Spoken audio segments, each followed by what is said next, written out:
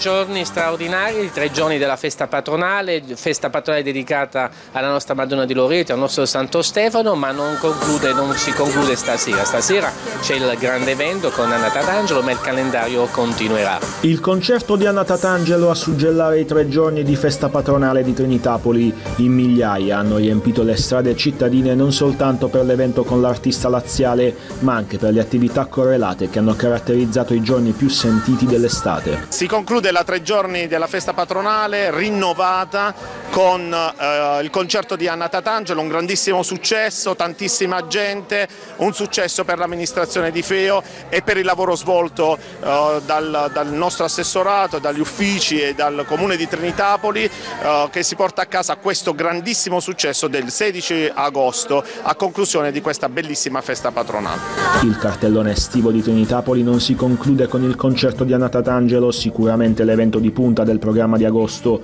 ma prosegue nel segno della valorizzazione del territorio attraverso musica, sport e sociale.